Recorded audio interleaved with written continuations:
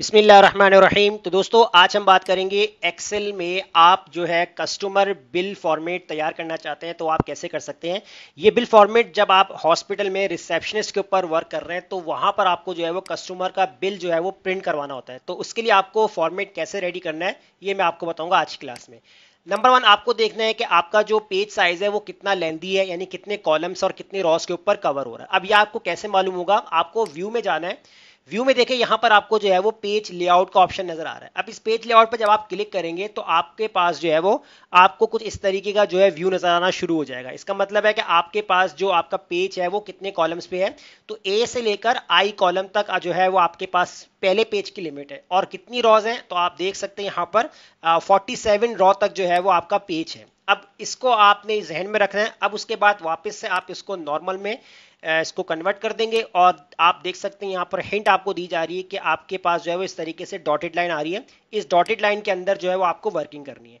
अब मैं यहाँ पर जो है वो दो रॉस को सेलेक्ट करता हूँ और इनको मैं यहाँ से मर्ज कर देता हूँ। और नाम यहाँ पर आप रख दें कोई भी अपने हॉस्पिटल का। तो मैंने यहाँ पर एस एच हॉस्पिटल के नाम से रखा है और फॉन्ट साइज़ कलर्स जो भी आपको रखना है वो आप अपने हिसाब से रख सकते हैं सेंट्राइज कर देते हैं बोल्ड कर देते हैं। और इसके बाद साइज़ इसका हम थोड़ा बढ़ा देते हैं और रॉ साइज़ जो होगा वो थोड़ा सा हम इसको एक्सटेंड कर देते हैं। दोनों रॉ को सेलेक्ट करेंगे और साइज़ हमें थोड़ा सा बड़ा करना है तो सेलेक्ट कर लेंगे और चाहे तो नेम हेडिंग्स आप बड़ी कर सकते हैं। अब नेक्स्ट जो आपको यहाँ पर आ, काम करना है वो क्या होगा? आपने जो है फ़र्स्ट जो रॉ है इसको आपने मर्च करना है। मर्च करने के बाद यहाँ पर जो आपकी डिटेल आएगी कॉन्टैक्ट की डिटेल आ जाएगी यहाँ पर। कॉन्टैक्ट नंबर और कॉन्टैक्ट नंबर आप कुछ भी दे सकते हैं यहाँ पर। तो मैंने जो है यहाँ पर कॉन्टैक्ट नंबर हम यहाँ पर ऐड कर देते हैं।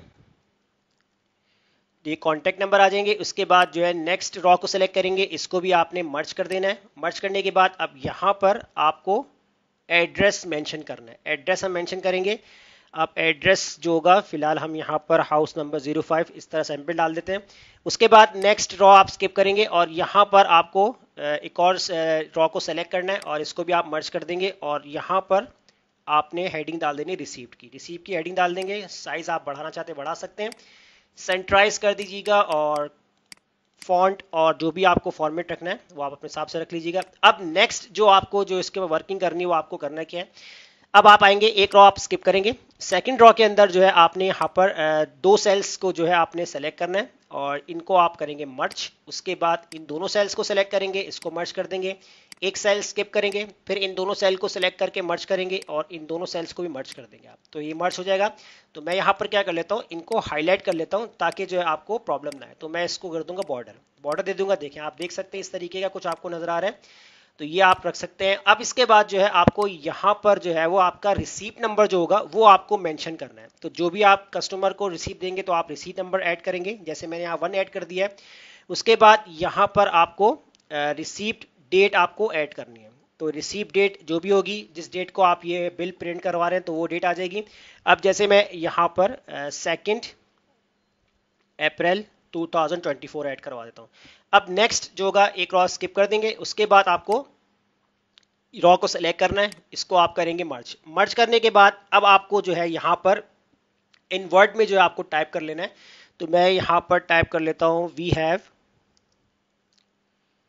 received amount from अब ये हमने वर्ड टाइप कर लिया, उसके बाद इसको भी आप चाहे तो बॉर्डर दे सकते हैं इस तरीके से। थोड़ा सा आपको व्यू नज़र आ जाएगा। अब ये आपने टाइप कर लेना है, उसके बाद नेक्स्ट ड्रॉ आपको स्किप करनी है। और यहाँ पर आपने जो है वो इसी तरीके से आपने इनको जो है वो सेल्स को सेलेक्ट करके मर्ज करना है। तो ये फॉर्मेट जो है मैं आपको बिल्कुल सिंपल बता रहा हूँ। थोड़ा सा अच्छा है स्टैंडर्ड्स फॉर्मेट है। इसी तरीके से यूनिक जो होते हैं इस तरीके से ही हॉस्पिटल वगैरह में जो है बनाए जाते हैं। तो आप इसी को फॉलो करेंगे तो ज़्यादा यूनिक रहेगा। तो ये हम सेल को सेलेक्ट करते हैं यहाँ पर और इसको हम करते हैं मर्च मर्च कर देंगे और यहाँ पर हमने जो है वो पेशेंट नेम ऐड करना है। तो ये हमारे पास आ जाएगा पेशेंट नेम की डिटेल आ जाएगी और उसके बाद जो है आप यहाँ पर इन्हीं सेल को सेलेक्ट कर लीजिएगा और इन सेल को सेलेक्ट करने के बाद आपको यहाँ पर मर्ज करना है। अब यहाँ पर आप कोई भी पेशेंट का नेम लिख सकते हैं, जैसे मैंने अली आतिफ के नाम से रख दिया है।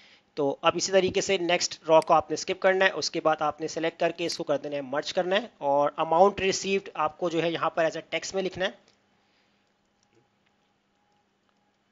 Amount received in cash. और नेक्स्ट नीचे रॉ में आएँगे। अब एक रॉ स्किप करेंगे। अब इसके बाद जो आपको यहाँ पर जो है वो सेल को सेलेक्ट करना है कुछ इस तरीके से। तो मैं यहाँ पर जो है वो तीन सेल्स जो है सेलेक्ट कर लेता हूँ।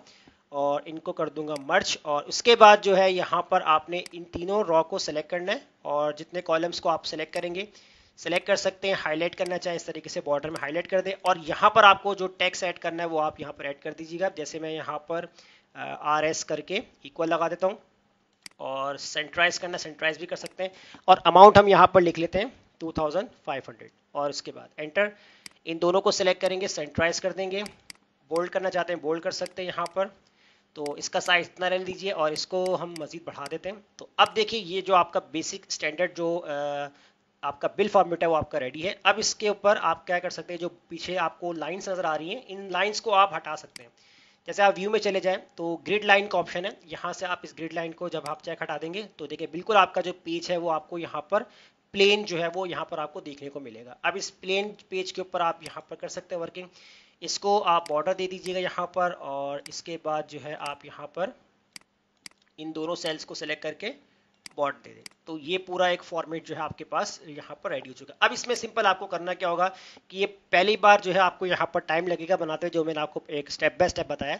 अब इसमें आपके पास जो पेशेंट आएगा, यहाँ पर आपको एंट्री करनी है पेशेंट रिसीव्ड और जिस डेट को आएगा, यहाँ पर आप जो है वो डेट लिखेंगे।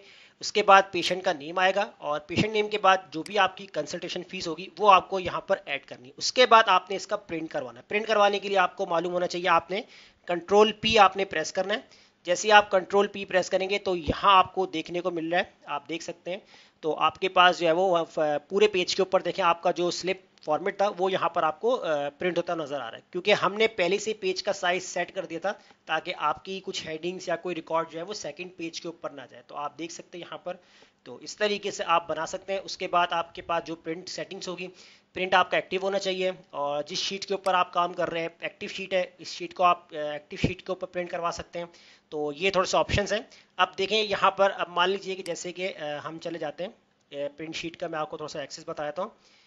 जैसे आपके पास यहाँ से हम कॉपी करवाते हैं और नीचे हम इसको पेश करते हैं। तो जैसे हमने पेश किया, अब देखिए आपके पास जो है ना, एक पेज के अंदर दो बिल आ रहे हैं। अब दो बिल आ रहे हैं आपके पास तो जैसे हम कंट्रोल पी प्रिंट करते हैं तो अब आपको जो है एक पेज के अंदर दो आपको जो है फॉर्मेट देखने को मिल रहे हैं। अब अगर आप चाहते हैं कि सिर्फ़ आपको एक ही फॉर्मेट जो है वो आपको एक ही पेज पे चाहिए, दूसरा आपको फॉर्मेट नहीं चाहिए तो इसके लिए आपको करना क्या होगा? आपने बस प्रिंट की सेटिंग को ध्यान में रखना है। जितना एरिया आपको प्रिंट करवाना है, उतना एरिया आपको यहाँ सेलेक्ट कर लेना है। सेलेक्ट कर लेना है, उसके बाद आपको प्रिंट में चले जाना है। और यहाँ आपके पास है प्रिंट एक्टिव शीट अब एक्टिव शीट पे आपके पास दो फॉर्मेट थे।